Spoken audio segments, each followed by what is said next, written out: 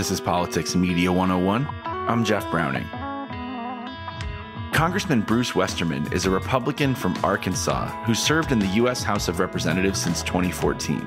Often in contemporary American politics, when we talk about climate change or natural resources, people generally assume that Democrats are for environmental regulation, assume Republicans are against it, and leave the conversation at that.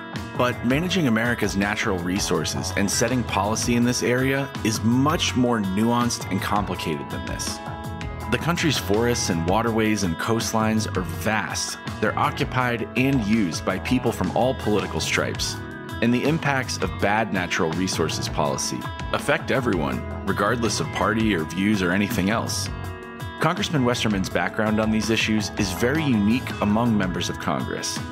He has a degree in biological and agricultural engineering, as well as a Master of Forestry from Yale, Right now, he also serves as the top Republican on the House Natural Resources Committee, meaning he's the party's leading member for many policy issues that impact our ecosystems, our lifestyles, and what our future home will look like. He's one of the most knowledgeable, influential, and passionate people around on these issues. He spent almost a full hour speaking with us about them. We had great audience questions, and we hope you enjoy it as much as we did. To learn more about Politics and Media 101 or sign up for our email list, which will deliver our best of directly to your inbox, please visit our website, pm101.live. Please also take a second to subscribe on whichever streaming service you're using right now so you don't miss our next episode coming this Wednesday. Today's episode is one from the Politics and Media 101 archive. It was recorded mid last year. Our co founder Justin Higgins led the interview. Without any further ado, let's roll the tape.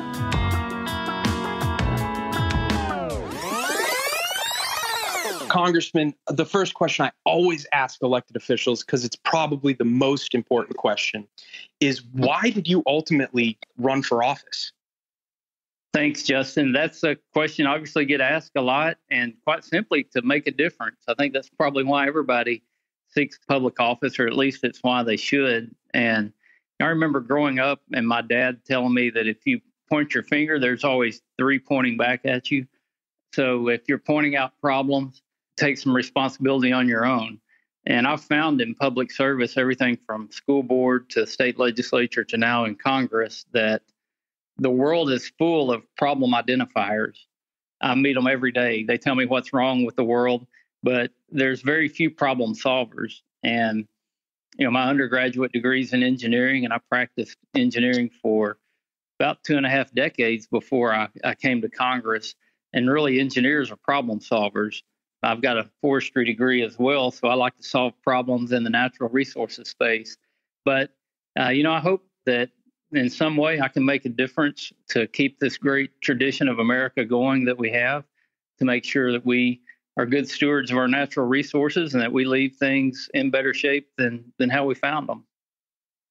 That's a fantastic answer. My next question we've had so far a member on from Michigan, Massachusetts, Connecticut, and not only for this audience from around the US, I grew up in New Hampshire, never been to Arkansas, but also we have some international listeners here. Can you describe to us why your district in Arkansas is so awesome? Maybe some of the characteristics, the, the food that's the, the popular cuisine, and more importantly, just the nature of the people. You know, Arkansas is known as the natural state. And District 4 that I represent has some of the most natural areas in the natural state. It's absolutely gorgeous. I've been to New Hampshire, beautiful state there. New England is one of my favorite places. But, you know, Arkansas has a lot of similarities to New England, a bunch of forest. We've got a lot of coniferous forest with southern yellow pine. We've also got a lot of deciduous forest, a lot of clear streams, beautiful lakes, a lot of wildlife. Uh, we also have a very productive agriculture industry there in the eastern part of the state, uh, in the Mississippi River Delta. We're the number one rice producing state in the country. Uh, we also grow a lot of corn and soybeans, and we've got a very robust timber industry in the state as well. And my district is about 87% forested, and it's a lot of public lands, private lands, and not just federal public lands, but state public lands. So I've got National Park Service. I actually live in Hot Springs, Arkansas, which is a national park. I've got the Ouachita National Forest, the Ozark National Forest. I got the Buffalo River, which was our nation's first wild and scenic river. Uh, that's in my district. But we've also got a lot of timber industry, poultry industry, and cattle. And the thing that I love so much about my district is the people there who are just the most genuine, down to earth people you would ever meet. It's a large geographical area that I cover, but the people are the consistent thing across the district. I was a policy advisor for a member from Kansas, and the farmers were just the hardest working people uh, that I'd come across. And I'm sure it's the same in your district as well. Yeah, and you know, I told people during the pandemic, my constituents don't have the opportunity to work remotely, or not a very large percentage of them do. And had farmers stop going to work, had people in food processing facilities stop going to work, had truck drivers quit driving trucks, we would have seen problems much greater than just the illness caused by the pandemic. So I did a hometown heroes tour and I went around and just recognized people who were nominated by their local colleagues for doing something special during the pandemic. And we we recognized everybody from restaurant owners to you know local police officers to people who did things like taking folks to the grocery store to pick up orders and helping them order online and, and that sort of thing. So lots of heroes all around us. That is awesome. And I hope that every member of Congress takes your lead and does that because every district has those vital employees that you just mentioned. Now, switching gears a little bit into our meat and potatoes, so to speak, or rice and soybeans uh, of the discussion, we're going to get into energy and environment here. So, the first question is Is climate change happening? And what degree do you think humans are contributing to the problem? Climate change is absolutely happening. And the other part of that, it's it's always been happening and always will happen. So that leads into your next question. What contribution has man had in that? And that's probably hard to, to quantify. Probably the easiest data to go to on that is the increase of carbon in the atmosphere. You know pre-industrial revolution we were down below 300 parts per million. And then today we're sitting at about 419 parts per million was the latest numbers. And you know we started measuring that in Hawaii in the 1950s, and we were already over 300 parts per million, I believe 311 parts per million by the 1950s.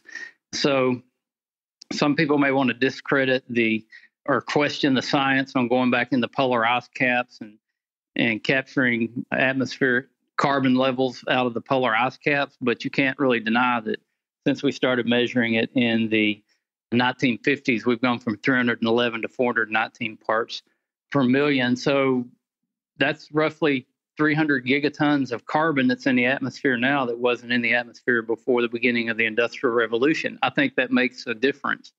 And really, that's what the whole climate discussion is about: is what do we do about these extra levels of carbon that are in, in the atmosphere? And you know, if we could just focus on that, I think we could make some improvements. But you know, here in D.C., politics gets in the way and emotion gets in the way and and sometimes we we forget about the science and we forget about common sense and reasoning.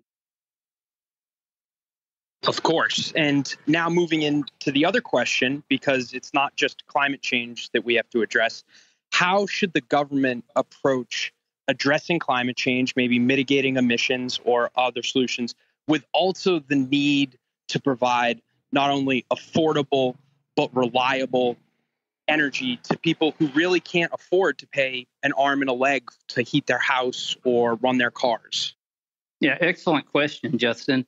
And I think this is where the rub is because the whole climate slash carbon debate comes back to energy because it's our energy that's and and certain types of manufacturing that have put the carbon in the atmosphere. Uh, not to mention catastrophic wildfires and other anthropogenic means of of emitting carbon. But what we've got to focus on is what can we do to affect change there.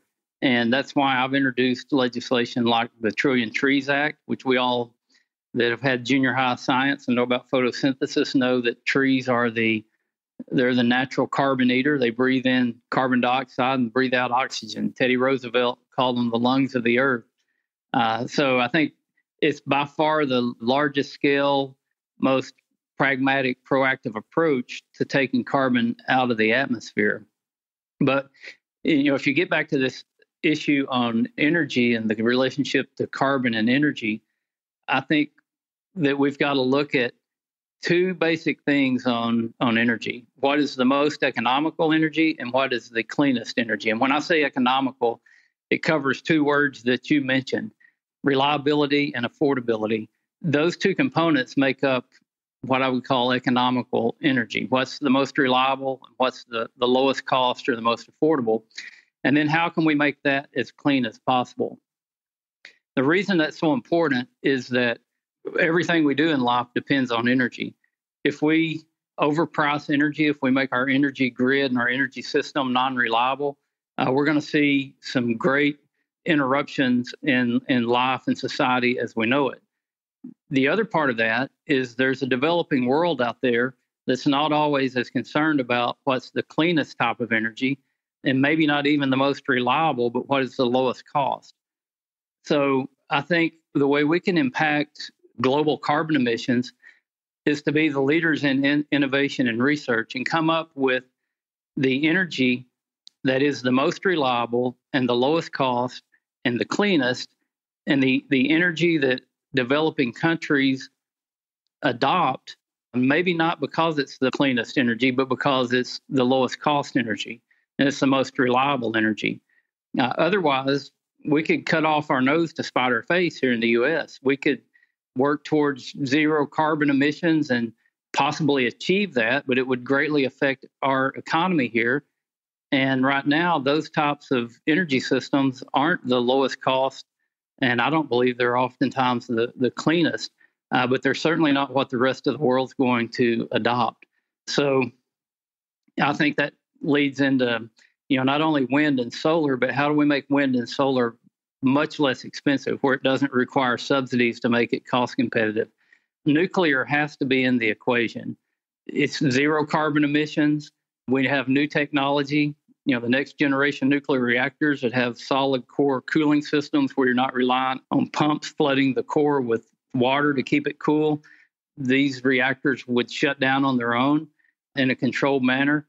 And we have to be open intellectually and from a policy standpoint on these types of, of energy if we want to be intellectually honest and really affect carbon emissions around the world. So I do want to highlight the Trillion Trees Act. I believe that folks in the audience, it is a bipartisan solution headed up by Congressman Westerman here. I want to say the companion bill is being sponsored by uh, Senator Chris Coons from Delaware, who's uh, friends with the President Biden. I hate to do this because this may be a stupid question, but a trillion trees sounds like a lot of trees. Is there enough space to plant a trillion trees? And, and could you just give us a very brief overview of like what you're seeing there and how we would go about implementing that? Yep, another great question. And the answer is yes. There's space to plant a trillion trees. And for your uh, next piece of trivia at your, your party, there's about 3 trillion trees on the earth right now. Researchers believe we've had as many as 6 trillion plus trees before. There was a study done by a, uh, a fellow Yale forester. Was presented at the World Economic Forum that said that if we were to plant a trillion trees globally, and this was by 2050 was the target date, but planting a trillion trees globally would sequester 205 gigatons of carbon which is two thirds of the carbon that's been emitted by man since the beginning of the Industrial Revolution. So that was the the impetus behind the Trillion Trees Act. We have about 300 billion trees in the United States. So obviously we wouldn't be planting a trillion of them here, but we've got plenty of places to plant more trees. And it's not just, you know, like plantation forestry. This is planting a variety species, planning for the site conditions, planning for you know all the objectives that you would try to achieve whether it's reclamation whether it's wildlife habitat or combinations of that or whether it's to plant them to generate timber resources so you know we want to plant a lot of trees but we also want to take care of the forest that we've got because we've already got this tremendous carbon sink in the united states another bit of trivia the forest fires in california last year emitted more carbon than all of the carbon emission cuts that have been achieved through all the policy in California since they've been trying to cut emissions. So one year of bad forest fires offsets all of the carbon savings that they've been able to accomplish. So it's critical that we take care of the forests that we have, uh, that we manage them properly to reduce catastrophic wildfire, but also to increase the carbon carrying capacity of those forests. And that's also part of the Trillion Trees Act, as well as something called a Sustainable Building Tax Credit to incentivize making our buildings out of sustainable materials like wood. There's a new product called uh, mass timber. It's where you you make these huge thick panels out of wood. You can build skyscrapers out of it. Uh, that's really catching on in Arkansas. Walmart, whose company headquarters are in Bentonville, Arkansas, are going to build their new corporate offices out of mass timber. This is office space for 15,000 people.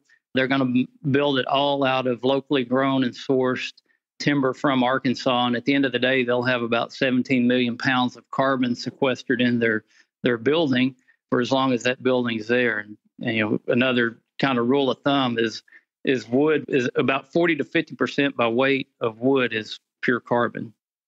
My next question for you, Congressman, is you did hit on making the renewable or less quote unquote dirty energy affordable through innovation and maybe removing some of the subsidies that is provided through the government. So, can you go into what your ideal solution would be for increasing that innovation while potentially getting rid of government subsidies? Or is there a position for certain government subsidies until these industries can get stood up?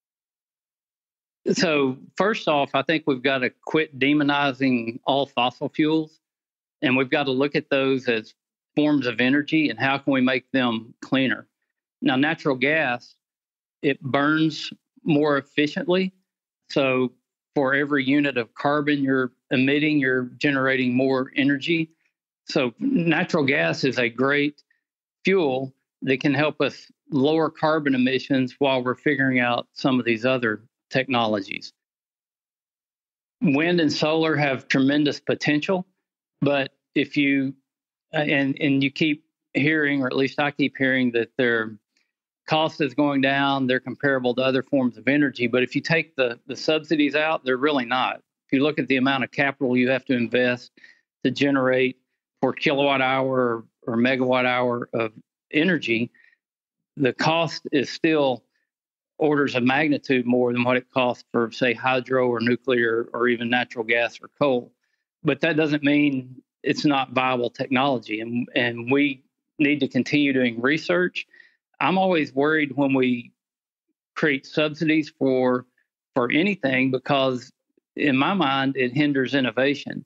If you can make a return on your project because of the subsidy, what incentive do you have to make your product more efficient? So, biofuels is another one that we need to look into. But as the engineer, in me just keeps coming back to nuclear power. I mean, it's something we know how to do. We can make it much more distributed with these small nuclear reactors. And plus, we've got technology now to make them much, much safer. If I were a betting man, I would say a hundred years or maybe not that long from now, you're going to see a lot more nuclear power on the grid. So nuclear, this is a great question. Kind of brings in the engineering, brings in the politics, brings in the carbon emissions. We've learned through school, I think a lot of us have, there's the NIMBY, not in my backyard. And after Three Mile Island and other nuclear disasters, I mean, look at Fukushima, the Germans just are decommissioning all of their nuclear and they're replacing it with coal plants. What is the political dynamic that you're seeing with your colleagues on both sides of the aisle? And do you actually think that advancing some type of pro nuclear legislation is realistic, is possible? And can you just kind of explain that dynamic to us? I'm pro nuclear and I really want it to happen. I just don't know if there's political reality or political will with your colleagues. Yeah, and you know, we've got issues with spent nuclear fuel cells, the Yucca Mountain debate. But the thing about these new reactors is that you can use the spent fuel out of a first generation reactor that still has 80 to 95% of its fuel value still left in it. uh, you can use that as your fuel and also decrease the half life of the remaining product that comes out of that reactor. Now, the problem with it is, we all know, is that you're you're creating higher grade radioactive material when you do that. But I think that's where we have to invest more in research and development. You know, another area I didn't mention, Justin, was the uh, was hydropower. We could put about twelve thousand megawatts of turbines on existing dams in our country without even building a new dam. But that's another political issue. You have people who want to tear out dams that are already there, that already have hydropower on them, even. So we somehow got to find this balance between politics and science and do what's going to be right for the future because I don't think anybody wants to live without energy. And the here's another trivia question. The number one use for wood in the world today is still fuel. And if you take away fossil fuels and, and you don't have nuclear energy and if people can't meet their demands, they're they're going to burn wood or dung or whatever is available to generate the energy they need for heat and for cooking.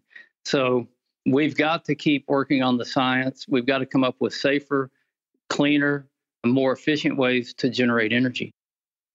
Okay, on to the audience. We will go to Jeff first, and then we'll go Megan, and then Dr. Francine. Jeff? Congressman, thanks so much for being here.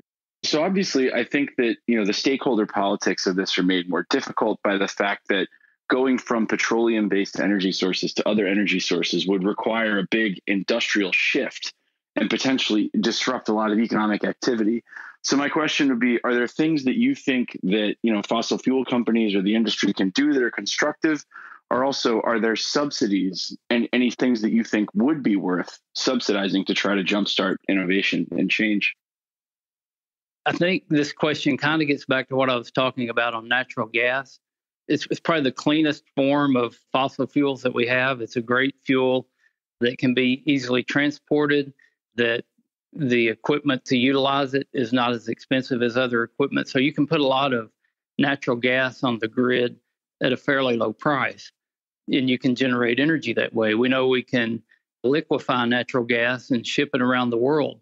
That's another issue as I've traveled in my role as congressman when I go to Eastern European countries within 10 minutes US energy supply is a is a question that that comes up and people want to get away from having to buy energy from Russia, not just Eastern Europe, but Western Europe as well. So I think it's a great strategic tool that we have with our natural gas. You know, there's a lot of different kinds of subsidies. We can subsidize research, which I think is the biggest bang for our buck. But look at corn ethanol.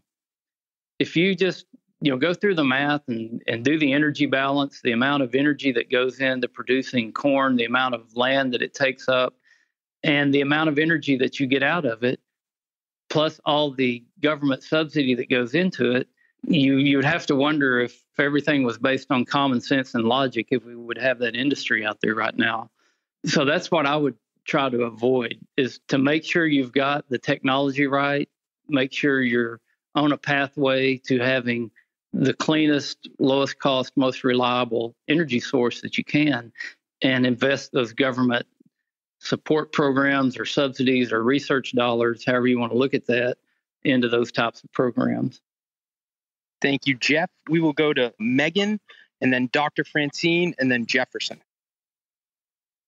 Thanks, Justin. And thank you, Congressman, so much for joining us tonight.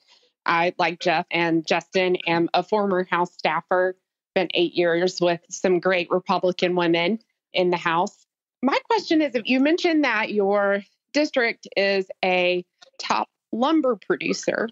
And so I'm really interested to hear your take on sort of one of the the big economic stories of the past 6 months which is lumber prices you know shot up you know made made it very expensive to build or remodel continued to reduce the supply of homes for sale which of course increased home prices would be interested to hear your thoughts on whether government action is needed to bring down lumber prices or whether there are current government actions, laws, or policies that maybe could be repealed to get out of the way and make the market work better?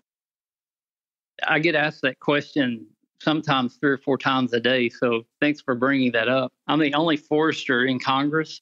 So anything that has to do with a tree, I seem to get those questions. But I actually wrote an op ed, I think Fox News published it, um, what caused the increase in lumber prices. And really, it's a, a combination of issues. Number one is supply and demand right now the demand is way higher than the supply. Now, that demand is easing off because prices got so high that it started curtailing demand. But we simply don't have the mills in the country to produce the volume of lumber that's needed for all the new home building, for the pandemic projects that people did. And it's literally supply and demand on the mill side of things. The irony in the South is that we have way more timber that needs harvested than the mills can process. So while lumber prices have gone through the roof, you see landowners not getting any more for their timber when they sell it to the lumber mill. So you've got kind of two supply and demand curves there. The the mills demand for timber from the forest landowners and the consumers demand for lumber from the mills. So you might ask, how did we get in a situation where we can't supply our demands. And, you know, looking back the last three to four decades, we've seen a mass exodus of mill infrastructure from the Pacific Northwest and even from the Intermountain region. Really, anywhere there's federal land where mills used to depend on federal land for timber supply, you've seen mills close down. We've seen close to a thousand sawmills and wood products processing facilities closed down since 2004. And we're seeing mills built in the southeastern U.S. where it's a lot of private forest land at rapid rates. Uh, I was talking to some people who are in the business of building mills, and they said you can't get a piece of equipment for a new mill for like two or three years now. Everything's on such a back order. One of the most eye opening visits that I've made was back in March of this year. I was out in Wyoming and South Dakota, and I actually visited a mill a sawmill in South Dakota that was closing down, and they were laying off 120 employees. And these were good paying jobs. This was like the the big industry in the town there, and they were they were closing down because the Forest Service cut back on the timber that they could supply to the mill. And with lumber prices at all time highs, there's only one reason a sawmill would close down is because they couldn't get logs to process. And that's exactly what was happening there with the Black Hills uh, National Forest. And it's not that the logs weren't on the forest and it wasn't that that forest didn't need thinning for forest health. It's just that the Forest Service couldn't process the uh, paperwork to supply the logs. So now you're going to have this mill closed down which is going to take more lumber out of the market. It's going to decrease supply, and you're going to lose all these jobs. But the real tragedy is the fact that you're not going to have infrastructure there anymore to do sound forest management on that forest. So it's going to continue to grow up and be another fire hazard. And we've seen that routine replicated over and over and over around public lands. And that's one of the things I really try to work on here in Congress is how do we put common sense back into the equation? You know, how do we get the infrastructure back so we can actually manage the forest? If you're really concerned about lumber prices, we're going to have a uh, a natural resources forum on that topic tomorrow. It'll be live on YouTube at 10 a.m. Eastern time, and you can check that out on our Natural Resources Republican page if you want to get more information on that. Thank you, Megan. We will go uh, Dr. Francine. Hi, Congressman. Thank you for taking my question. I live in Arizona, and as you know, we have a nuclear power plant. And I was fortunate enough to be in economic development, marketing, and PR at the time the plant was built.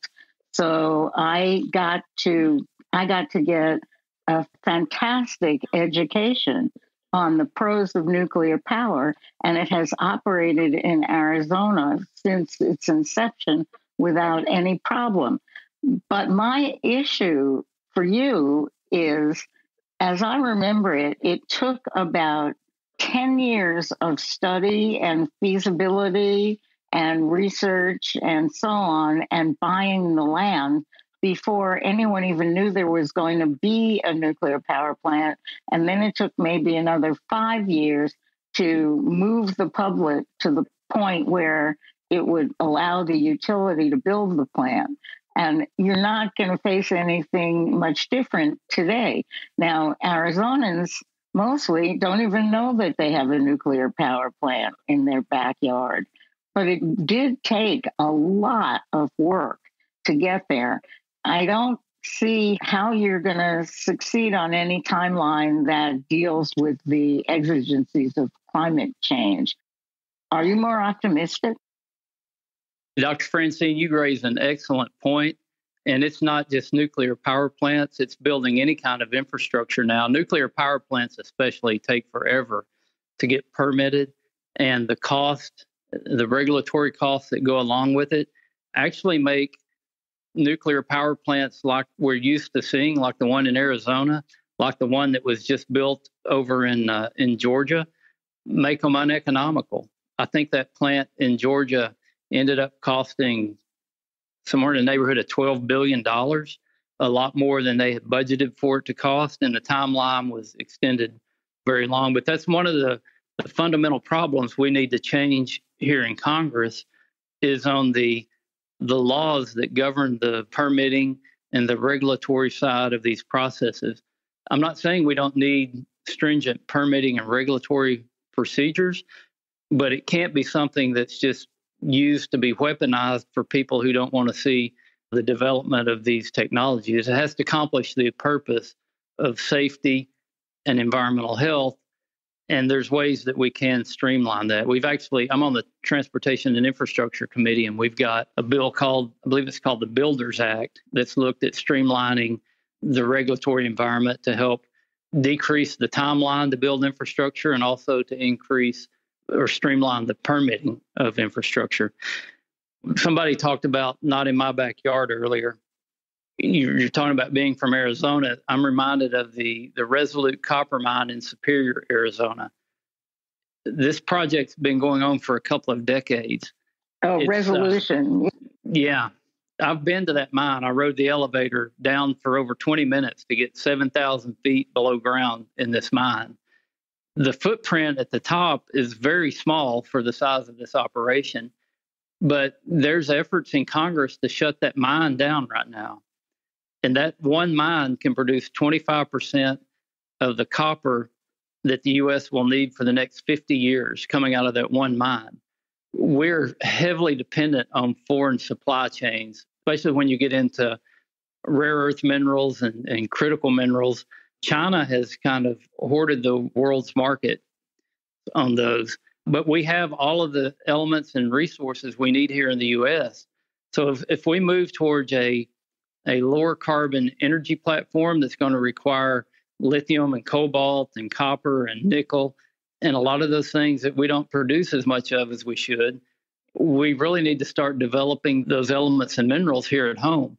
But there's a real push not to do that here at home where we have the most stringent environmental guidelines, the best safety records, the best human rights records of anybody that would be producing these elements and minerals. So, again, there's politics at play, uh, whether it's you know full out building nuclear power plants or whether it's extracting lithium to make the batteries for electric vehicles.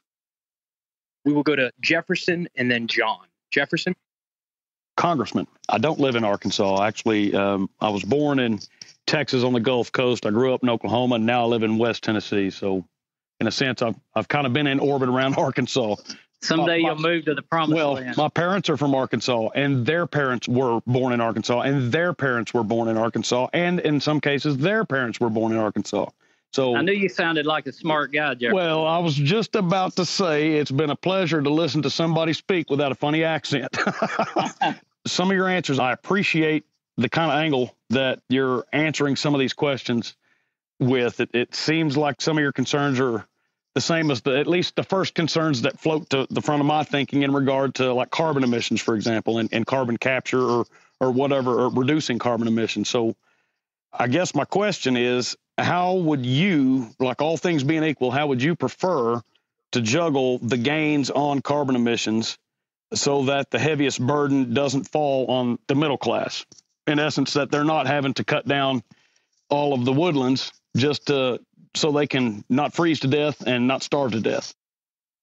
Yeah, and it gets back to what I said about energy. It's got to be economical, which means reliable and, and lowest cost and clean. And that's how we ease the pain on everybody is to have the right energy source. And we've got to be smart about it. We've got to realize as Americans that as emitters of 15% of the world's greenhouse gas emissions, that we can't solve the whole problem here in America. We've got to come up with the technology and the solutions that the rest of the world will adopt. And I think that's where we've always excelled as being those innovators and the ones with the ingenuity to come up with a better way to do things. And if we just come up with new sources of energy that are expensive, that are hard to employ, the rest of the world is not going to to mimic that. My approach again would be utilize natural gas as much as possible right now. Quit demonizing natural gas. Continue to develop all forms of renewables, but go wholeheartedly on next generation nuclear with the solid core cooling systems. That's on the the side of the equation to reduce the amount of carbon going into the atmosphere.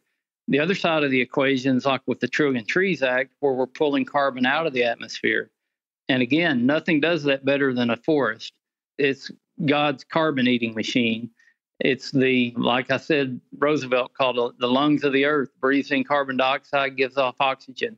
We could make such a huge difference by taking better care of our forest here by planting more trees here and by exporting our expertise around the world so that you know we can reclaim some of these these areas that have been deforested and plus help economies around the world. There's some interesting data on correlations where there are forests and how well the economies do. Thank you jefferson. We will go to john. Thank you justin and thank you congressman. So congressman key industries in Arkansas, especially the agricultural industries, were heavily impacted by the tariff war with China. Um, however, today it seems as though antagonism towards China is only increasing across the government. So, how can we balance this broad government approach to challenging China with the needs of Arkansas's industries and the key export market that is China? Yeah, great question. And I, you know, I felt that from conversations with businesses back home. But you know, if you look at our top three trading partners, China, Canada, Mexico, the USMCA helped stabilize a lot of trading markets. Getting an agreement with Japan was critical. I believe Japan's our number three trading partner. And I think what we have to do is strategically have trade negotiations with a lot more of the Pacific Rim countries We've got to develop trade deals with South America and with European countries. And China is going to be there. They're a huge country with a huge population, with a growing economy. And I'm all for trading with China as long as it's fair trade.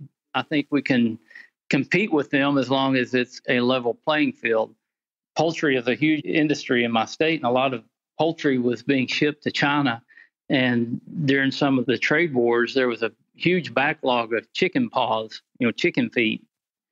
It was like over a billion pounds of chicken feet that were in cold storage. You know, I had an opportunity to sit down with President Trump and tell him that, you know, the the chicken farmers back home were suffering because of these trade deals. And to his credit, he got a program worked out with like a billion dollars worth of chicken paws. So it was more of a bilateral, one on one negotiation back and forth. And I think we need to have more of those, but we got to make sure we've got fair trade, um, or at least somewhat of an even playing field when we're talking about trade with China. And we've got to start producing more stuff here at home that are critical to our supply chain. I think everybody realized when we couldn't get surgical masks and then found out that even the material that goes in surgical masks was made in China and they were holding on to to that material, even though it was 3M was the company that made it. I had companies all across my district volunteering to uh, to sew surgical masks, but literally couldn't get the material to make it. So there's some critical things, and especially you know when you start getting into rare earth elements and minerals that I believe need to be made here as well. It's not a simple question to answer, but I think we've got to do a better job on balancing our trade and not being so dependent on China.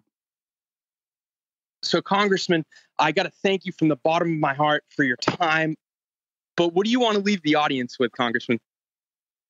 As far as the outlook for the future, I'm very positive. We have to be positive. Being negative about the future is not going to solve anything. I started off by saying, you know, my dad told me that if you point your finger and say there's a problem, there's three pointing back at you. If we'll just take the personal responsibility, whether it's in my job as a member of Congress or your jobs and, and whatever you do, and be proactive and have a positive outlook on the future and let common sense and the science guide our decisions, I think we've got a positive future. America's always figured out how to come through troubling times, how to face our challenges, and to come out better on the other side of it.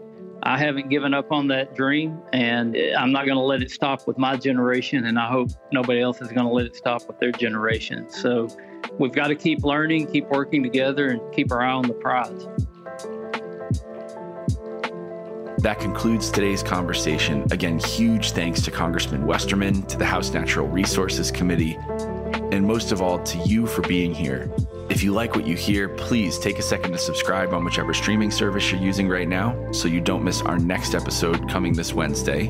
To learn more about Politics and Media 101 or sign up for our email list, which will deliver our best of directly to your inbox, please visit our website, pm101.live. This has been Politics and Media 101. Wherever you are in the world, thank you for being a part of this community. I'm Jeff Browning on behalf of our co founders, Justin Higgins and John Gunnison. We hope to hear from you soon.